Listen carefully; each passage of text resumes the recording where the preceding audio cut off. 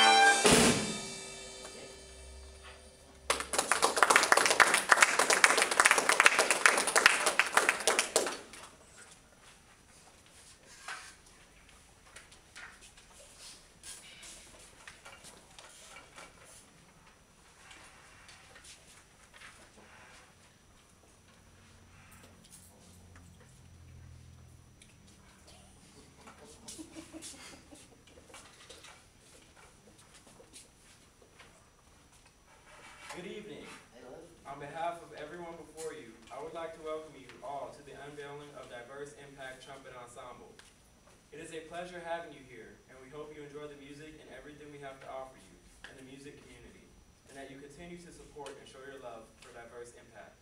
So again, we welcome you and hope you enjoy.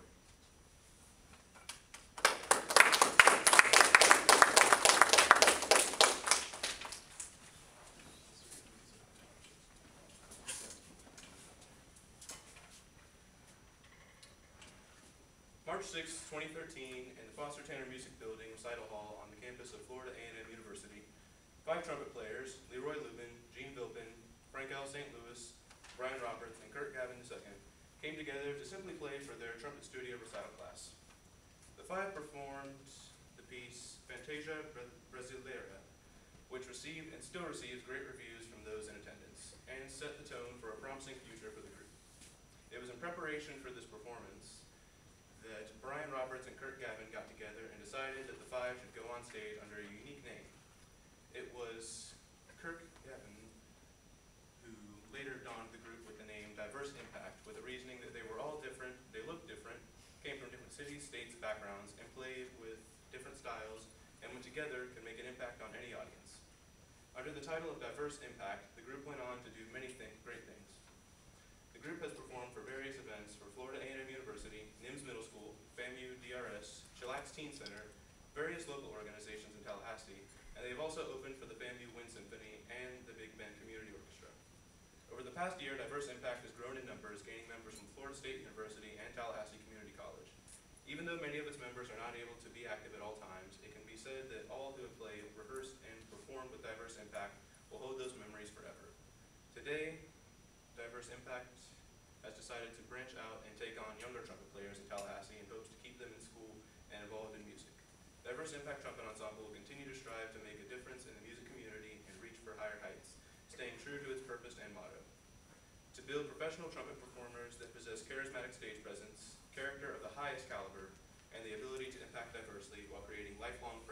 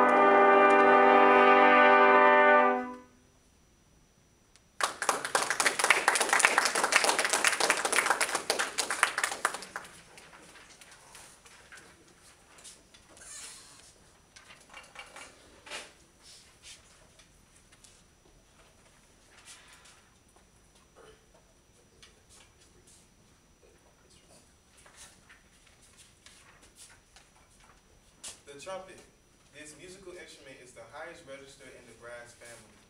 Trumpets are one of the oldest musical instruments dating back over a thousand years BC. Earlier trumpets did not have valves, but modern trumpets usually have three valves, either piston valves or rotary. Each valve increases the length of tubing when pressed, thereby lowering the pitch. There are several types of trumpets, such as the four you see in front of you. First off, we have the most common of these trumpets, the B-flat trumpet.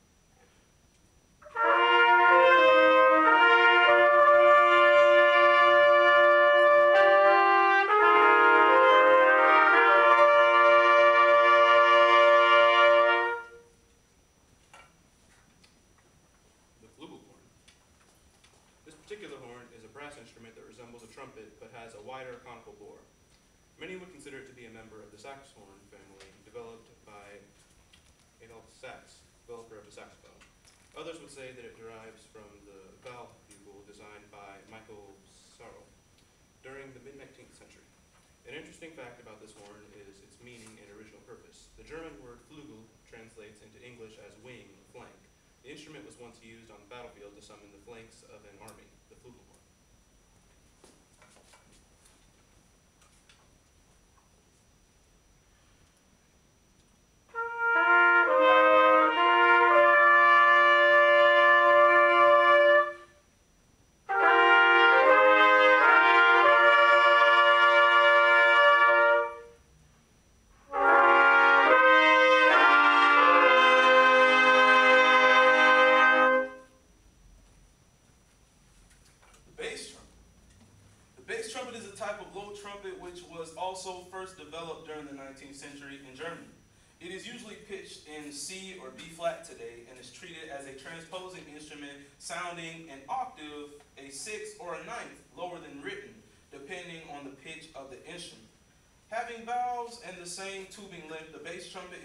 similar to the valve trombone.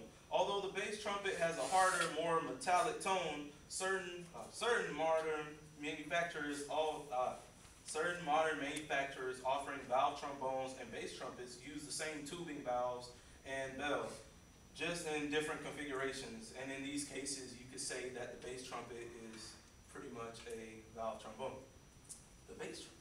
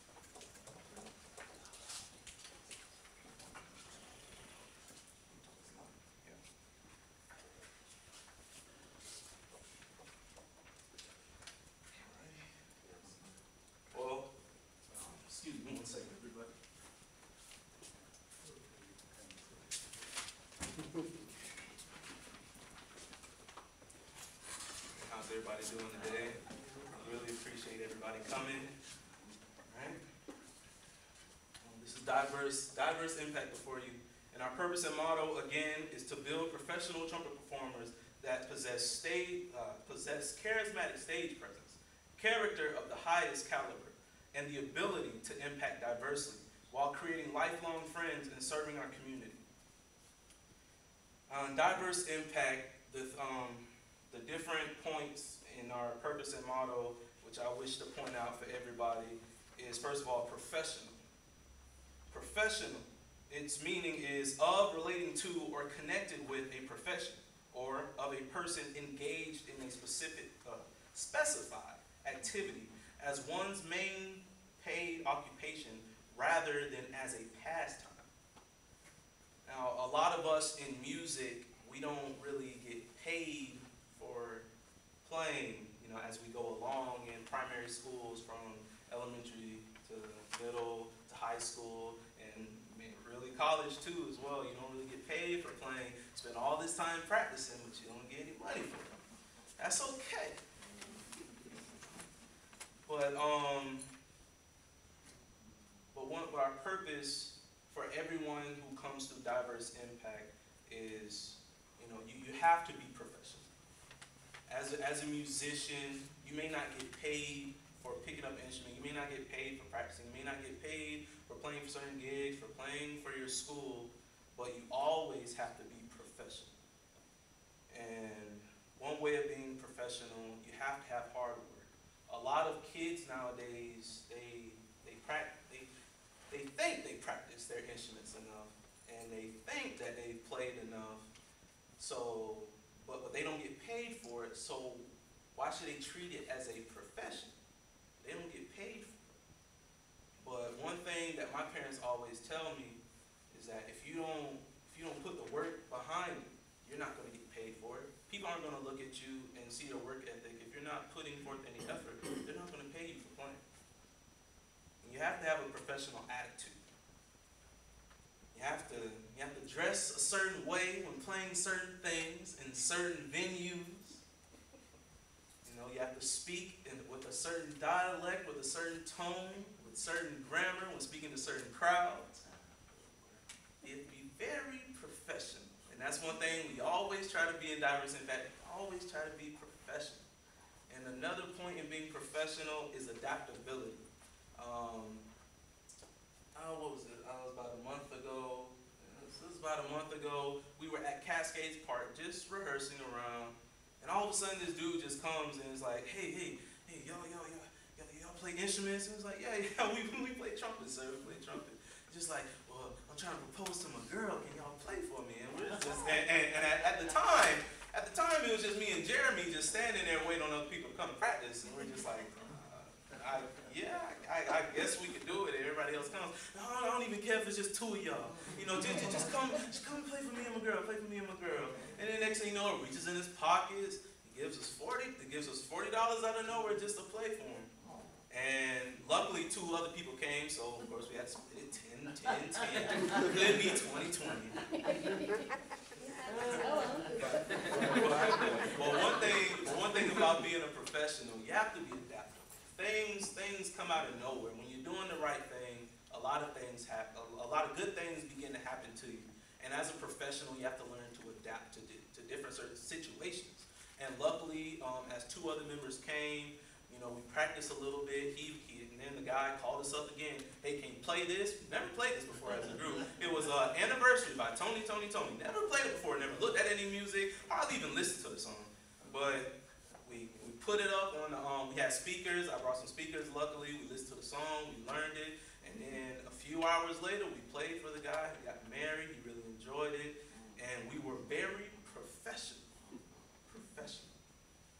The next word in our motto that really sticks out is charisma.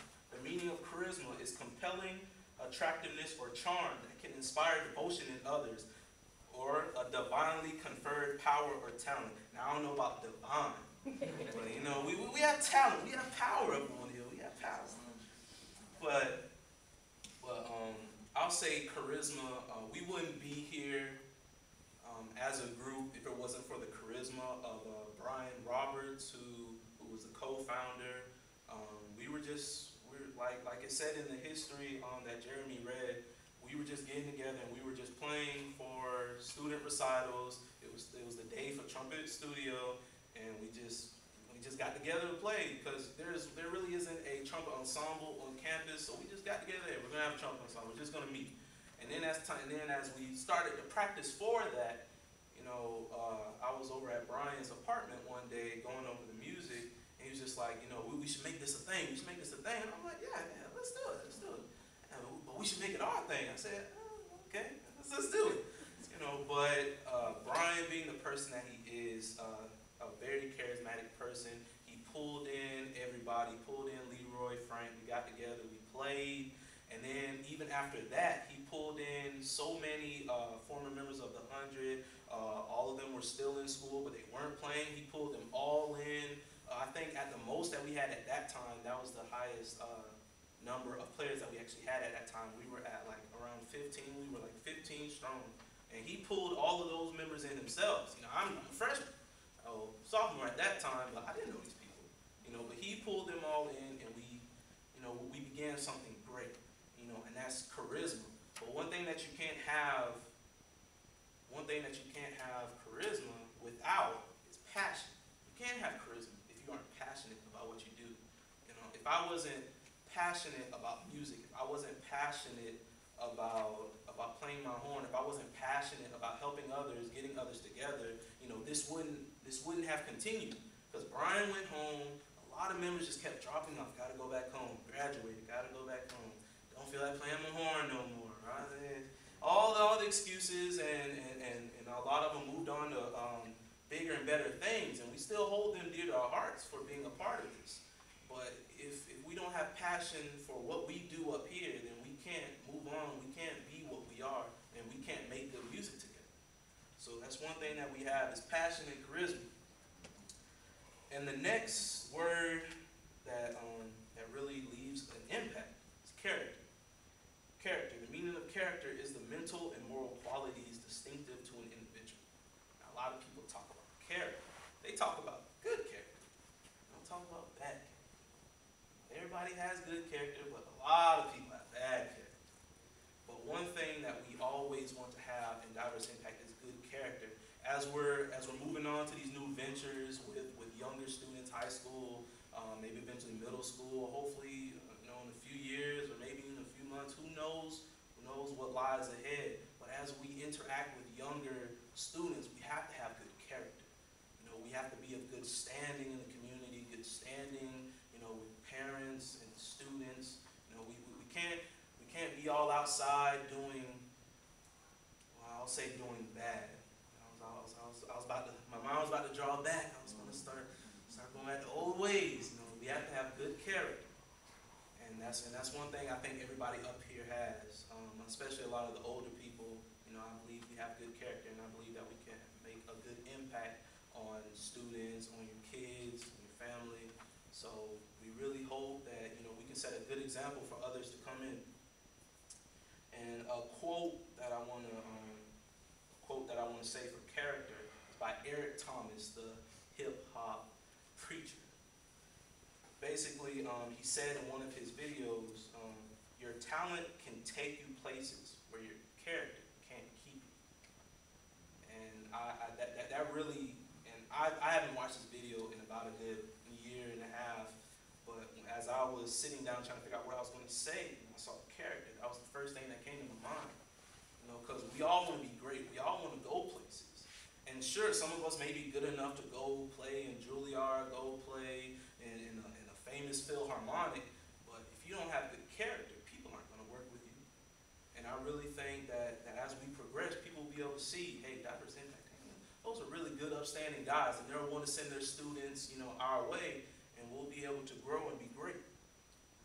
And the next word, uh, service, serving our community, service. The meaning of service is the action or process of serving food and drinks to customers. Just kidding, just. It's a little light joke.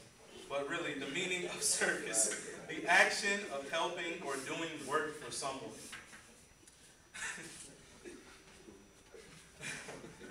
one, one thing we want to do is diverse impact. We really want to serve our community.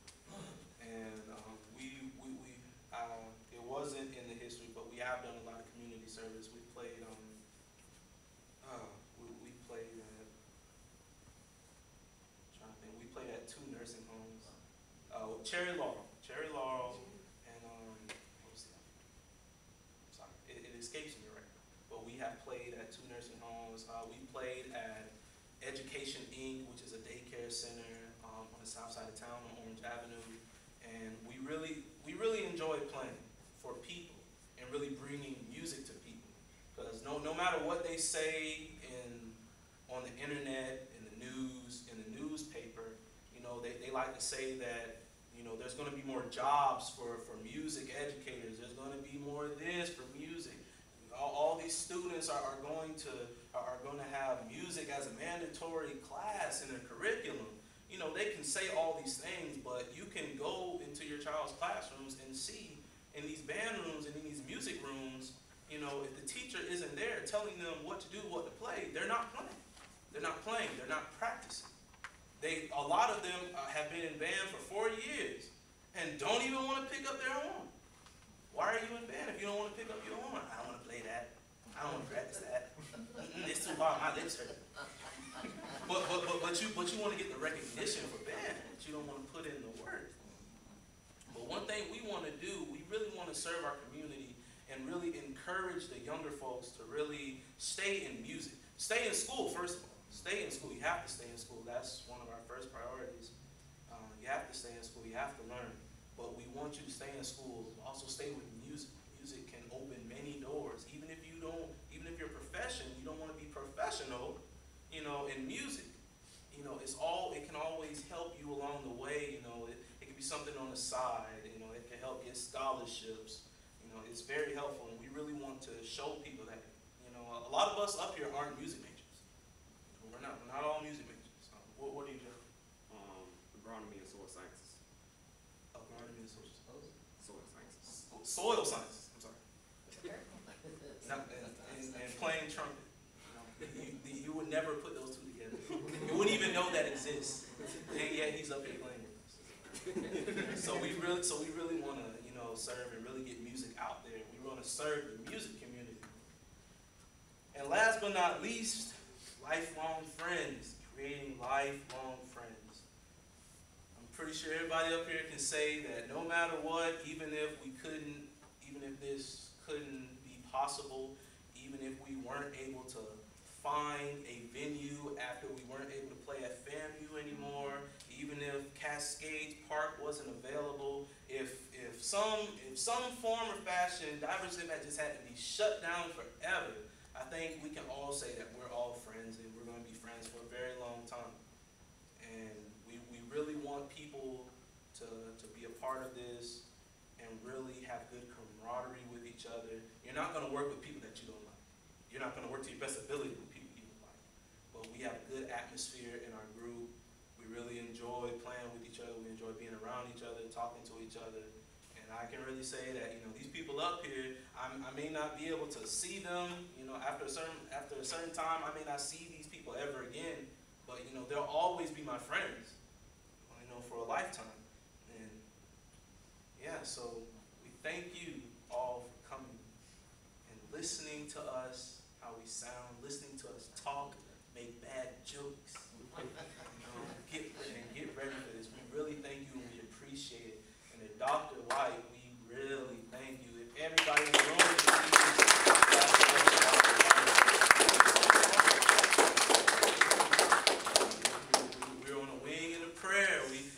have any air conditioning anymore. We was out there with the gnats. It was so hot. And I, and, and I talked to Dr. White after a good whooping. And he, and I mean, without hesitation, I don't even think I finished the sentence asking him. And he was just like, yeah, yeah, just, just, just come on, just come on. You know, you, you can practice it at any time. And it's, I can't tell you, you know, how, how great of a thing it is to have someone in your life who can really open doors for you, you know, for free.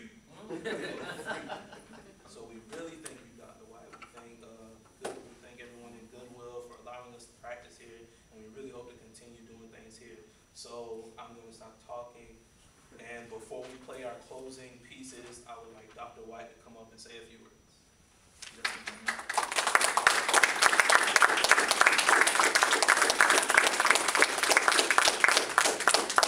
very much, Kirk. Ladies and gentlemen, you must be truly proud of these young men today. Kirk, you said it all. It is not about the money, it's about the passion for what you do. And to hear the way all of you have expressed yourself vocally and with your music is really something. Y- Your motto uh, can really give you something to live by forever because you have such strong characteristics of, of living in your motto. And I would say to the parents too that I welcome you to the Fred G. Shelfer Prosperity Center. When Kirk asked if he could come here, I didn't know the conditions that he was practicing on prior to coming here. But uh, I do know that this edifice here is really nice, and you can have a home here. You can practice here at any time that you'd like. In fact, I even told them too, that anything that I can do to help, if I can purchase music for them, I'd be more than happy, happy to do so, because this center is built around the need of the community. Uh, we have here this music room, we have a financial planning and computer training center, uh, that's free. We have an exercise, physical fitness room, that's just a fa- a smaller version of Gold Gems or Premier. And all of that is free. If, if sometime during the day you wanna come in and work out, just take a look at it. And so, those kind of things are very important. And the other aspect of it, you mentioned serving the community. Well, this, uh, this organization serves exceptional students, talented students, advanced students such as these, but we also serve another population, disadvantaged and individuals who may have special needs and accommodation. And uh, we pride ourselves in the things that we do, and perhaps sometime you can come and play for them too, because it will certainly inspiration. I'm sure that you're an inspiration. My son just started playing trumpet uh, a few weeks ago, and he played on a program today, and I'm sure that he is inspired by what you're doing. So I commend you. Keep up the work, guys, that you're doing, because you are having a direct impact on the music, and I'm sure that is what you intend to do. Most certainly, parents, I'm not gonna stand between you and this fine music, but I do welcome you to the Fred G. Shelfer Prosperity Center. Thank you. Thank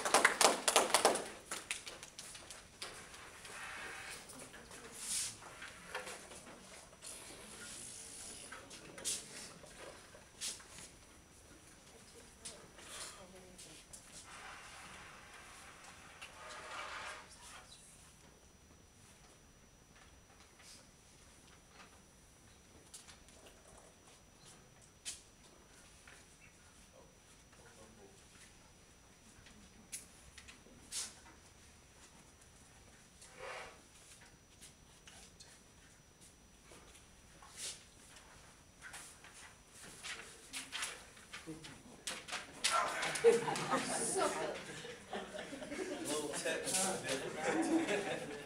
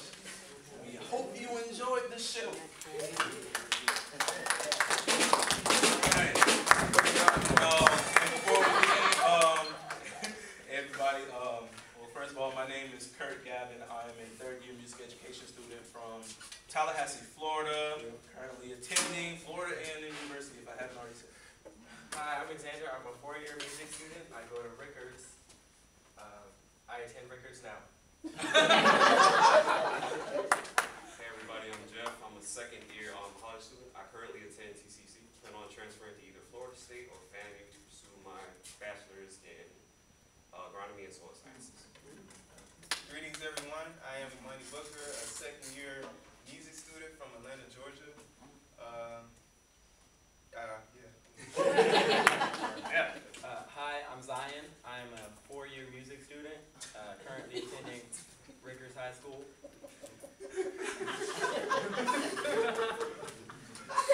Hello, I'm Jeremy Pennington. I go to Lincoln High School, and I'm the section leader this year. Hi, I'm Robert Murray. I also go to Lincoln High School. I'm succeeding this guy, and um, I'm a junior.